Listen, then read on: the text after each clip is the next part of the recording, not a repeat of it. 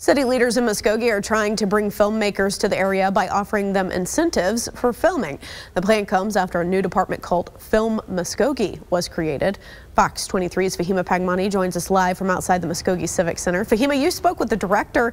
How does he think these incentives will bring in filmmakers? He says the department just opened up this month, so they're still waiting on those calls to start coming in. But he hopes that this $25,000 in incentives will have those phones ringing. If you actually come and film a movie uh, within Muskogee, there's an up to $25,000 uh, incentive that you can get.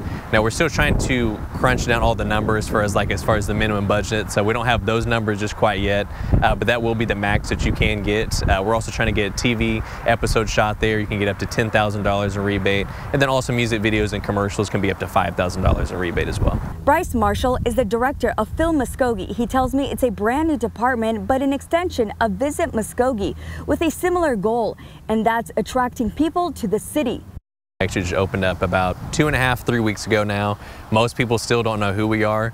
Uh, that's why I reached out to you guys. He says he's trying to bring filmmakers of all experiences so that they can spend their money in the area.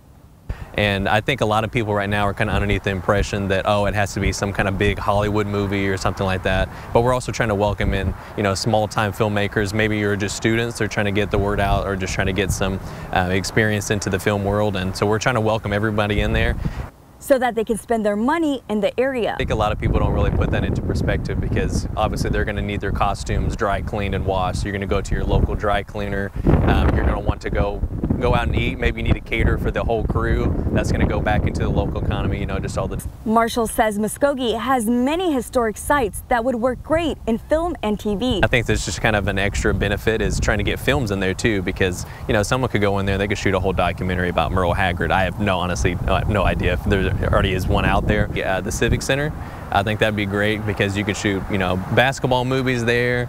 Um, you could even do fight nights there. They've had circuses, Oktoberfest. And the money the filmmakers bring into the city will stay in the city.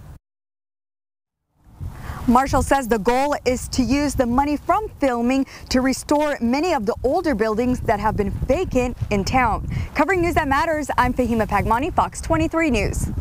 You can learn more about the new department and find their contact info on filmfriendlymuskogee.com.